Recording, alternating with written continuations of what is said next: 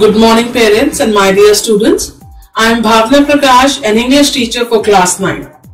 Students, last time we did formal letter writing, a letter to principal and to government official. Prior to that, we did letter to editor. Today we will discuss order letters and complaint letters which are a part of business letter. So in order letter, you will be ordering something to someone. Let's take a sample.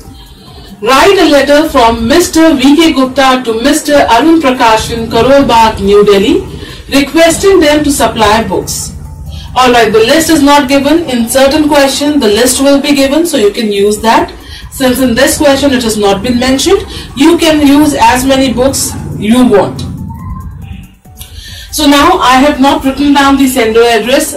By now it is clear that we follow a block format everything comes to the right. First will be the sender address, that is your address, date, receiver's address. Out in here it is Arun Prakashan, Karol Bagh, New Delhi. So it will come in receiver address. The subject will be supply of books. Salutation will be dear sir because Mr. Arun Prakashan is a male. Then the body consists of two paragraphs. One talking about how much amount you will be transferring via which DD or demand draft and which all books you require and how many copies. And second one will be talking about the conclusion part followed by subscription that is closing and your signature. Let's read the body. We are sending here with draft number 1478952 dated 3rd 4 2020 this is the way we write date and checks. So we are using this format here. Drawn on Axis Bank favoring yourself payable at New Delhi for rupees 1,50,000 in advance.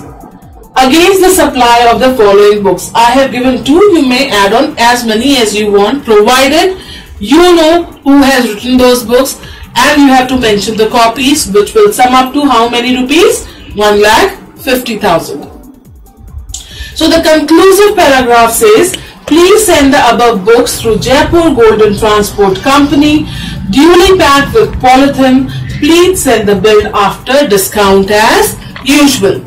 So now we are telling the publisher that you are supposed to use Jaipur Golden Transport Company for delivering these items and it should be properly packed and please apply discount before you make a bill. So this is the, this is the way that we write a formal letter for order wherein you are placing an order for so many books you are mentioning how much the amount is and how this is the draft that you are making use of. This is the date that you have to mention which bank which has been used for make this transaction and the amount along with the books and the publisher and the number of copies you required all these details are very essential in ordering something. Alright and then you summarize that you will be using Jaipur Golden Transport Company for transporting these goods to us. Alright I hope this particular order letter and the formal letter writing is clear. Next we will be moving to complaint letters wherein you will be complaining about some product that you have already received or certain services which are provided or maybe any other reason you are complaining for. The question says write a letter to the postmaster complaining that your sister at Ambala had not received the parcel sent by you last month. Again I have not written the sender address because you will be writing your own address followed by date. Receiver address may be your postmaster address. Subject will be non-receipt of parcel sent on 25th 2nd 2022. That means 22 February you have sent the parcel which is not been received by your sister. In salutation you could either use dear sir or sir or madam on the information which is provided in the question. The body is in two, uh, two paragraph following no indentation form the first paragraph says, I had sent a registered parcel to my sister Jaya. So now this parcel has been sent to your sister Jaya.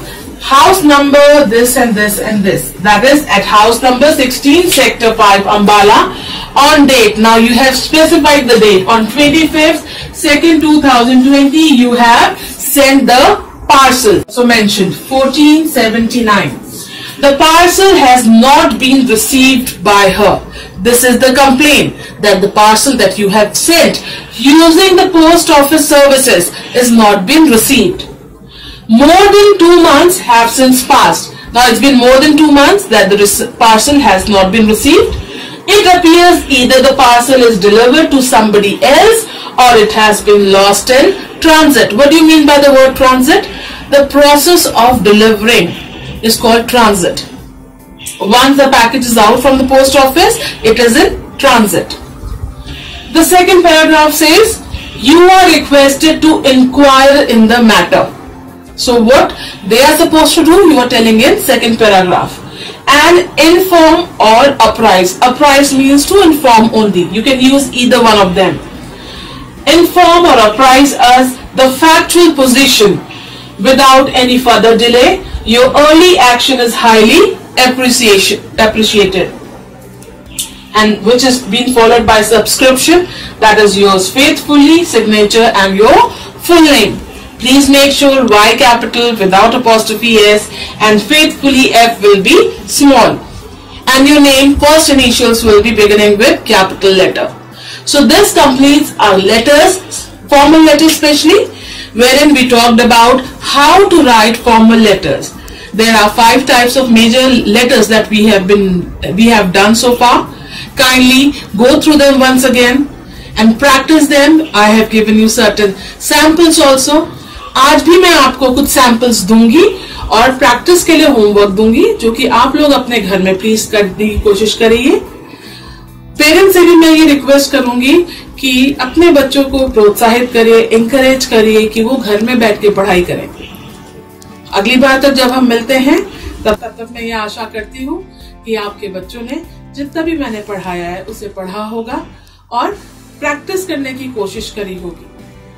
घर पे रहिए, स्वस्थ रहिए, सुरक्षित रहिए। धन्यवाद।